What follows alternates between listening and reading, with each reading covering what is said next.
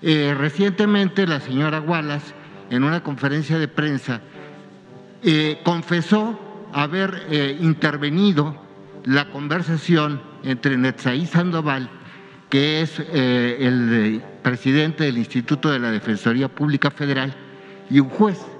Es decir, que la señora utiliza equipos de estilo Pegasus, dado que esta conversación fue realizada en, horas fuera de trabajo.